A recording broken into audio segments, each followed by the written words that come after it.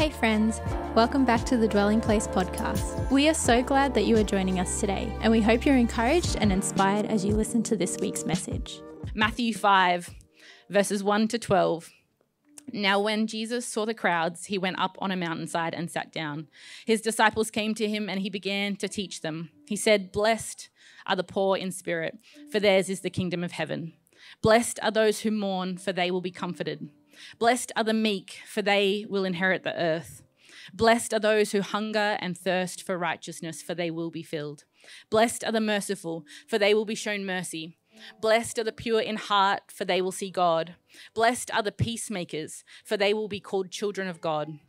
Blessed are those who are persecuted because of righteousness, for theirs is the kingdom of heaven. Blessed are you when people insult you, persecute you, and falsely say all kinds of evil against you because of me. Rejoice and be glad, because great is your reward in heaven, for in the same way they persecuted the prophets who were before you. You can take your seat this morning. We've been going through a series we've entitled, uh, entitled LYBL, Live Your Best Life or Live Your Blessed Life. Um, and it's this series all around the Beatitudes, this series of statements that Jesus makes about who would be regarded as the blessed ones in the kingdom of God. You know, he uses this word blessed, this idea of being happy, to be satisfied, to be secure, to be full of joy. Blessed is to be living your best life. And in Jesus' time, much as it is today, um, the idea of blessed, blessed was associated with the rich the powerful, um, those who had influence, those who were good looking, those who um, had power at their disposal, those who had it all. Um, and so the thing is, Jesus, Jesus approaches it very differently with the Beatitudes. He says it's not the good looking, not the intelligent, not those that have plenty. The world says you're blessed based on what you have. The, the religious elite of the day believed that you were blessed because of what you do. Jesus takes this a step further and he cuts straight to the heart.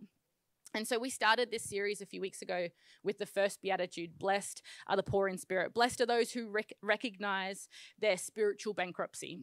Blessed are those who recognize that, that they are lacking spiritually and in need of God we then moved on to blessed are those who mourn, not only just over the external things that are happening in the world around them, but blessed are those who mourn over their internal state, who, who recognize not only their spiritual bankruptcy, but they, they mourn over it, they repent over it, they bring it to God, and through that, they're comforted. And then on Sunday, we, we looked at blessed are those, uh, blessed are the meek. We looked at how meek is not weak, but in fact, it's great power under control. It's the strength of character to yield to God. And so if you zoom out for a moment and we've obviously we've been taking these one at a time, but if you zoom out for a moment, you begin to realize this beautiful progression here in the words of Jesus. The blessing is for those that recognize that we're poor in spirit, that we're in need of a savior, that we need God and we mourn over it. We repent and we come to God and allow uh, his comfort to come to us. And then in meekness, we hand him the reins of our, our, lives. We give him the control. Instead of trying to take power and, and, and take things by force, we actually, we give over control to God. We hand him control and we yield to him. And it's from this place of surrender that Jesus goes on to the next beatitude. Blessed are those who hunger and thirst for righteousness, for they will be filled. I want to start by asking what does Jesus actually mean when he talks about righteousness? I think righteousness can um, sound like a very Christian word. Yeah, I would say it is quite a Christianese term. I think often we can associate it with ticking off all the Christian boxes. I'm righteous if I don't murder anyone, don't steal. Like if I've got those big ones covered, I'm doing pretty well on the righteousness scale. Um, and then I can take my righteousness even further if I turn up to church, um, if I pray, if I read my Bible. Now, there is nothing wrong with any of those things. In fact, all of those things are good but that's not the fullness of what Jesus speaks of when he says righteousness. He's not merely referring to this superficial um, compliance to, to religious rules or moral standards.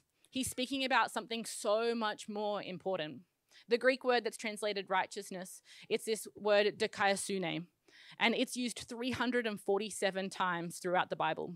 I don't know about you, but when I was in school or in university, um, some of you who are in school or university would know this, and if you don't know it, take note. If your teacher or your lecturer says something a few times, it's a good um, idea to start taking notes. That's probably the time where you go, oh, okay, they've now mentioned that four, five times. I probably need to tune in here. I need to focus. I need to take some notes because that that's going to be on the test. And so, even more so, I think when we realize that God would spend more than 300 occasions in the Bible talking about something, hey, hold on, maybe we need to stop for a moment. Maybe we need to focus in and look at what he's saying. The word righteousness refers to two key things throughout Scripture. First, righteousness is being made right with God. And then, second, it's doing right by God. It's being made right with God and then doing right by God. Being made right with God is the righteousness that we have because of Jesus. It's the reason we gather today. It's the story of Easter. Romans 3 21 to 26 but now, apart from the law, the righteousness of God has been made known, to which the law and the prophets testify. That this righteousness is given through, the, through faith in Jesus Christ to all who believe. There is no difference between Jew and Gentile, for all have sinned and fall short of the glory of God, and all are justified freely by his grace through the redemption that came through Christ Jesus. We can't earn it. This was a gift that was freely given to us. We receive it when we accept Jesus as our Savior. It's this beautiful exchange. On the cross, He took our sin, and in return, He gave us righteousness. Jesus says, It's good, it's blessed when you realize that you're in need of God. It's, it's blessed when you realize that you can't be righteous on your own, but you are in need of Him. It's good when we have an appetite for the things of God, to desire to know God more and more.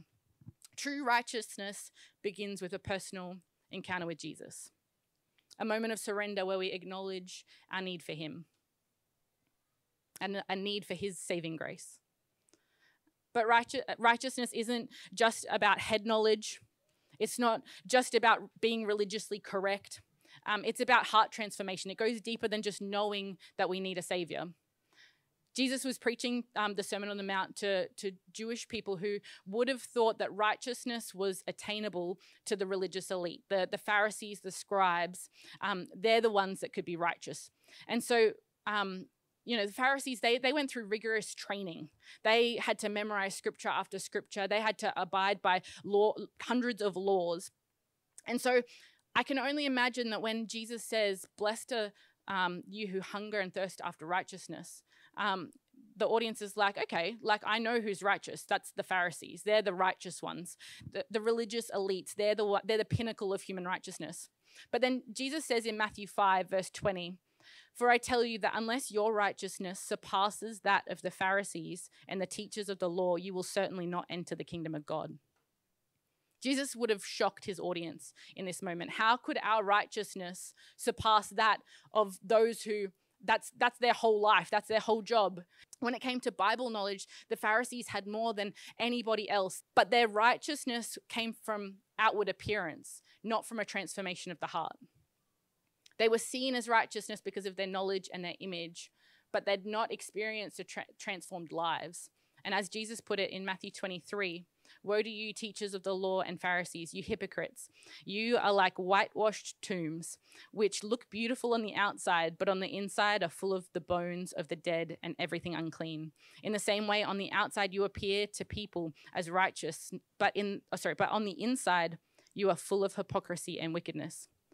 Jesus challenges the prevailing notions of righteousness held by the religious elite of the day. He emphasizes the importance of sincerity in their pursuit of God over their outward appearance. 1 Samuel 16 says, The Lord does not look at the things that people look at. People look at the outward appearance, but God, the Lord, looks at the heart. For, for us, this means that, that righteousness is not merely about following a set of rules or performing um, religious duties. It's about allowing God to renew our hearts from the inside out. Righteousness is first about being in right standing with God and then allowing that to transform us, renew us, make us new. And, and the other part of righteousness is doing right by God, living His way. pursuing his ways, living the kind of life that pleases God. It's, it's a life that becomes like a living example of Jesus in the earth. Righteousness includes this endeavor to, to line up our lives with the will of God. It involves pursuing a life characterized by obedience to God and His commands and a desire to reflect His holiness that comes out of the personal relationship with God. It's, allow, uh, it's about longing for deeper intimacy with Him and then attempting to embody Jesus in the world. 1 Peter 1, verse 15 and 16. But just as he who called you as holy, so be holy in all that you do. For it is re- written, Be holy because I'm holy. And so righteousness, it's it's first being in right standing with God, and second, it's living right for God. But here's the thing: Jesus doesn't say you're blessed because you're righteous. That that beatitude, it says, "Blessed are those who hunger and thirst for righteousness, for they will be filled." It doesn't say the righteousness is blessed. It says the righteousness is the blessing. What's blessed is the hunger. You, you read that again. Ready? Blessed are those who hunger and thirst for righteousness, for they will be filled. Righteousness is the blessing, hunger is the condition. And so throughout the Bible, hunger and thirst, they, they're used as these vivid metaphors um, for this deep longing, this deep desire for the things of God. Psalm 42, the psalmist writes, As the deer pants for streams of water, so my soul pants for you, O God. My soul thirsts for God, for the living God. The, the Greek word used for hunger isn't merely about lack. When we're hungry, we're lacking in, in sustenance. But the, the Greek word here for hunger isn't just about lack, it's lack partnered with want. It's, it, it implies a fervent craving, it's a seeking with eager desire. The people Jesus was talking to understood what it meant to be physically hungry. The, the place and time that Jesus is speaking, that not everyone um, would have had food on a daily basis. They didn't have, you know, Woolworths across the road like I do. They didn't have refrigerators and running water. Many lived in poverty. And so they, they were well acquainted with the pains of hunger. I mean, honestly, most of us, I would, I could take a guess that the vast majority of, of us, if not all of us, have never really experienced true hunger. I mean, the extent of our hunger probably goes to when you rock up to the KFC drive-through window and they say, "Hey, can you park around the front? Um, that we have no chicken. It's going to be another ten minutes for your meal." I mean, why does KFC never have chicken? They have one job, um, but th- that's probably the extent, honestly, of of what we think of when we think of hunger. My belly's rumbling. I'm sitting in that car at the front of KFC. Why can't they do their job? Why can't they bring me my chicken? I'm starving. This, it's a little bit melodramatic. But that's the, that, that's the extent of the physical hunger that many of us have experienced. But the people that Jesus is speaking to, they were well acquainted with hunger. And, and it's, it's this that, that Jesus says, these people, sorry, it's to these people that Jesus says, blessed are those who hunger, who fervently crave, who seek with desire. If you're truly hungry, you seek with desire sustenance. If you're truly hunger, hungering, there's nothing that's going to stop you from finding the sustenance that you need. In essence, Jesus is calling us to examine our spiritual appetites. What's your hunger like this morning? To assess where what are we craving? What are we pursuing? Are we seeking after the things of God? Or are we indulging in, in empty, fleeting spiritual calories? Fleeting pleasures that, that leave us unfulfilled?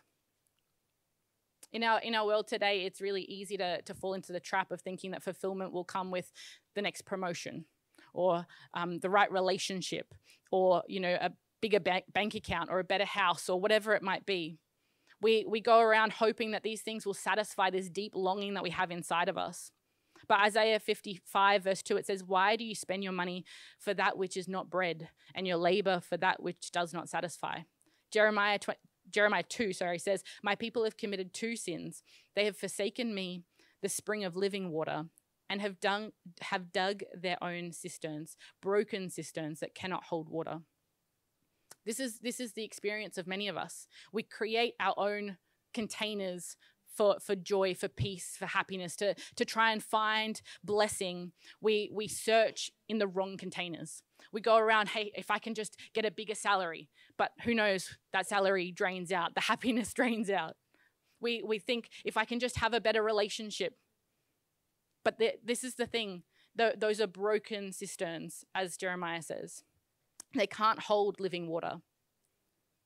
Who knows, junk food leaves us craving more. It leaves us feeling unsatisfied. But not only that, it leaves us feeling sluggish. It leaves us sick. Probably gives you a little bit of heartburn. Then the true is the same is true in our spiritual life.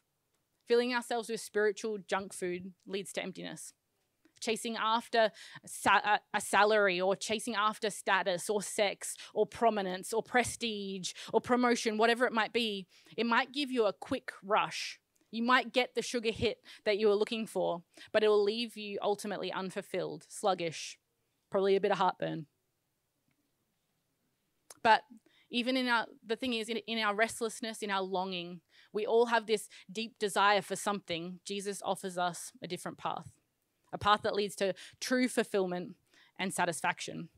John 6, verse 35, Jesus said to them, I am the bread of life. Whoever comes to me shall not hunger, and whoever believes in me shall never thirst. He invites us to come to him, the source of living water, the bread of life. Here's the thing though the hungering and the thirsting for righteousness, it's not a one time deal. It's not a hunger and thirst one off and, and you're satisfied forever without constant pursuit. You see, Jesus says who hunger and thirst. It's not who hungered and thirsted. Uh, sorry, excuse my grammar, grammar. I'm trying to give a grammar lesson here and I've got no clue. No. Um, but this is the thing you look at what Jesus says grammatically, he's talking about an ongoing action. Those who are filled are not those who have their hunger and thirst met once and for all, but those who are continually hungering and thirsting. It's this re- relentless pursuit, a constant yearning to live a life of righteousness, to be transformed more and more into the likeness of Christ. And so, what does it mean to be hungry in a spiritual sense? It means recognizing that insatiable longing within us a longing that can only be satisfied by drawing near to God. It means rejecting the empty promises of the world, reject the spiritual junk food, and turn our hearts towards the, the truths of His word. It means embracing a life of continual pursuit, a journey of seeking His righteousness. And what does Jesus say? He says, when we do this, when we hunger and thirst for righteousness, we'll be filled. We'll be filled, we'll be satisfied. Satisfaction can so often um, seem like this elusive dream. You know, we're, we're bombarded with ads daily. Um, the recent statistics say that the average person actually sees around 10,000 ads per day. That's a lot of ads. And a whole lot of these are promising satisfaction guaranteed. But who knows, the satisfaction doesn't last and they come out with a brand, you know, the iPhone satisfaction guaranteed. But the next year, here's a new iPhone because the last one didn't satisfy. Eh, this is the thing with our world. They keep trying to one up, one up because they leave us longing and craving more. We're trying to fill a void with these things that don't last. It might be nice for a moment, but it doesn't last. You know, throughout history, people have sought satisfaction in all sorts of ways, whether it's through material possessions, whether it's through accomplishments, through, through relationships. Yet, time and time again, we find ourselves not satisfied. Is it the Rolling Stones that you know had that that anthem? Can't get no satisfaction. You know that's that's almost like this longing desire within our hearts. Despite our best efforts, we struggle to fill the void, and it leaves us restless and discontent. C.S. Lewis once said, "If I find in myself a desire which no experience in this world can satisfy." the most probable explanation is that I was made for another world. Jesus invites us into a different world, one where true sat- satisfaction is found in seeking first his kingdom and his righteousness. He assures us that when we do this, when we seek him, all the other things of life fall into place. Matthew 6, verse 33 But seek first his kingdom and his righteousness, and all these things will be given to you as well. It's not about chasing after worldly pleasures and accumulating wealth and status. It's about pursuing a deeper intimacy with God, a hunger and thirst that He promises to satisfy. How's your appetite this morning? What are you hungry for? Are you hungry for the things of God? Thanks for spending time with us today. To hang out again the next time an episode drops, make sure you subscribe. See ya!